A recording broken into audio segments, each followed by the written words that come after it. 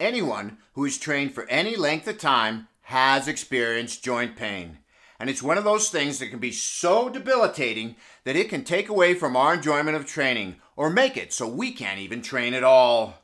Now, I personally have suffered from both hip and shoulder issues in the past, and while they've both been rectified now, it's only been very recently that I can now say that my shoulder is nearly 100%.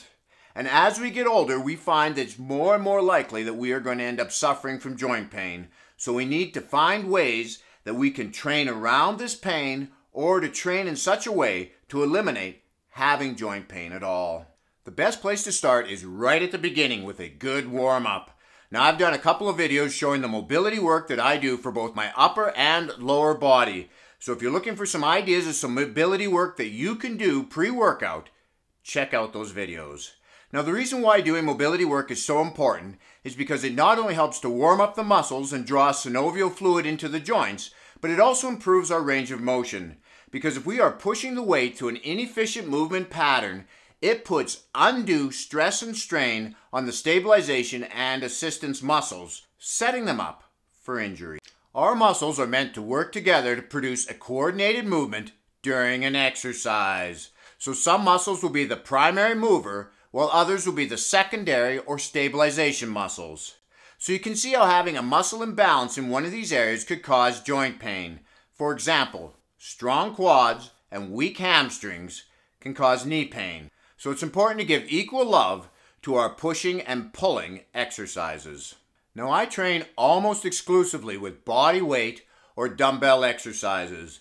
And one of the advantages of dumbbell training over using a barbell is that it allows you to be able to bring your elbows in closer to your body, which puts your shoulder in a lot more stable position. And this works not only with your pressing motions, because when I injured my shoulder, I switched from doing a traditional pull-up to doing a neutral grip pull up, which allowed me to continue doing the exercise while my shoulder healed. Another variation that is helpful if you have shoulder issues is doing a floor press. That limited range of motion takes a lot of stress off of your shoulder.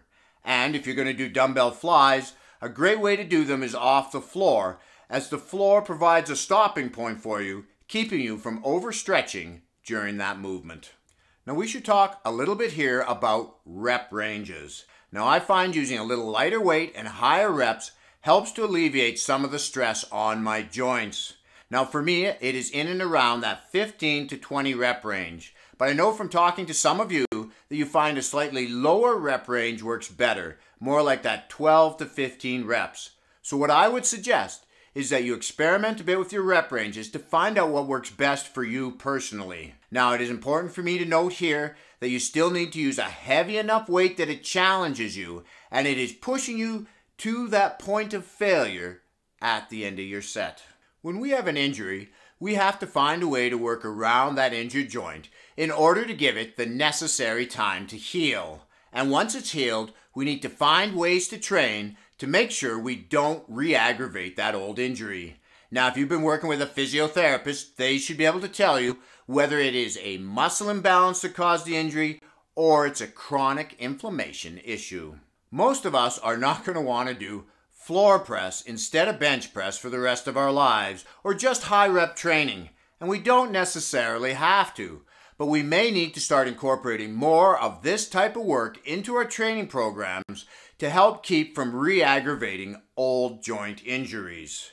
We might have to do a high rep day and then alternate it with a low rep day. Or one chest day we do floor press and the next one we do a full bench. Just giving our joints that little extra break from the stress.